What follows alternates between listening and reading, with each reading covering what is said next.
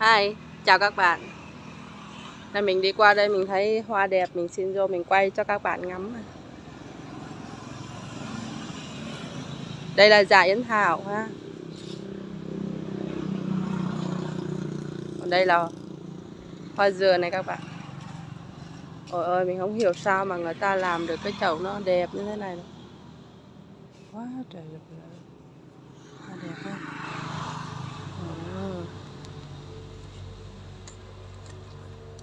Hoa dừa này rất đẹp phải không các bạn? Đây. Mình xoay cái chậu cho các bạn Các thấy. bạn thấy không? Nó như cái hình cây thông hết. Mình quay một vòng cho các bạn thấy nè.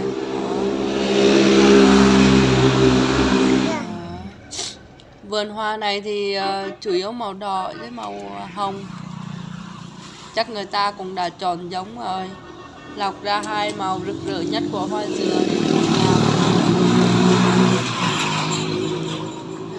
giờ thì mình à, sẽ à, quay chậm chậm cho các bạn thấy ha. Rồi.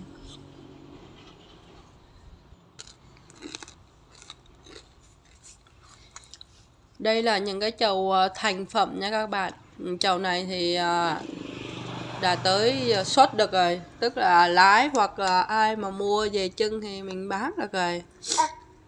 Đây là những chậu thành phẩm này hoàn thiện này đang trong uh, cái giai đoạn cái cây nó phát triển à, rực rỡ và sung mãn nhất ha. Đó. Vườn này rất nhiều luôn các bạn ơi.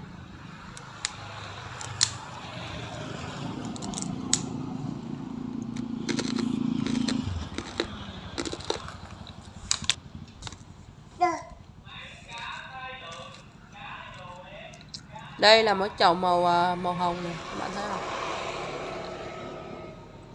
Hoa dừa thì ờ, nó nở liên tục nha các bạn. Có nhiều hoa các bạn thấy không? Có nhiều búp mà. Đó cứ hoa này tàn là hoa khác này nở lên. Cho nên uh, chơi hoa dừa thì chơi rất bền chơi được lâu nha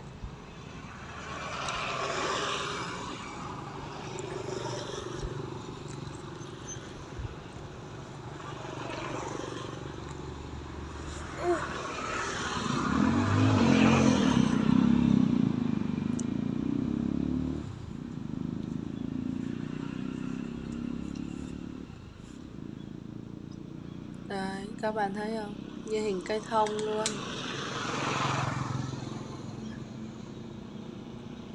Cái này mà có à, cái à, flycam ha Quay từ trên xuống dưới cho các bạn thì quá là tuyệt vời luôn ha. Đẹp, đây mình chỉ à, đứng ở dưới cho nên chỉ quay như thế thôi. Mình cũng cố gắng là quay toàn cảnh cho các bạn thấy nhất ha. Đó. Chào cô. Hoa dừa thì ta bán quanh năm các bạn Cứ hết một đợt thì người ta lại lên một đợt mới Lên hoài vậy đó. Đây, phía trong này thì là những cây hoa dừa. Ta mới cho lên không à Những hoa này. Cây hoa dừa này. Quá trời là rực rỡ luôn.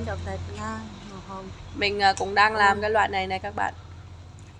Không không đó, một chầu à, có rực rỡ luôn này cũng một chầu ha. còn ở đây y như kiểu một đài vậy một cái bộ tóc của cô dâu á nha. Xa đó, các bạn có thấy giống bộ tóc của à, cô dâu đẹp. không? Ai đâu nghĩ hoa thiệt đúng không? Đây là hoa thiệt đấy các bạn không phải hoa giả đâu hoa thiệt đó, hoa tươi á. Đây còn à, vườn thì còn có thêm một loại này này các đây bạn. này các bạn. Đây các loại này thì uh, bông nó mới còn búp không à còn mới còn búp. Đó là mình quay cho các bạn thấy không? Còn búp nhưng mà nó cũng đã có tàn hình cây thông rồi đó. Lác đác vài cánh hoa nở rồi.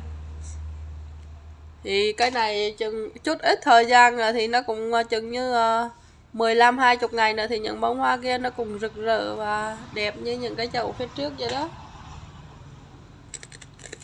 Vườn này rộng lắm các bạn.